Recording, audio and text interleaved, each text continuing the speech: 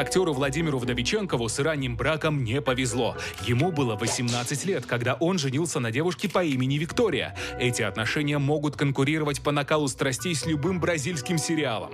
Роковая встреча состоялась, когда будущий актер гулял со своим дядей Владимиром Леоновым, который, к слову, был старше его лишь на 4 года. Виктория запала в душу обоим молодым людям, но она поначалу выбрала дядю Вдовиченкова. Тот служил моряком и неплохо зарабатывал. Девушка вышла за него замуж. Но уже через полгода Виктория развелась из-за проблем мужа с наркотиками и после этого вышла замуж за Вдовиченкова. Однако вскоре Вика заскучала в браке с Владимиром, к тому же зарабатывал он намного меньше, чем его дядя, и девушка решила вернуться к бывшему мужу. Вот это Санта-Барбара!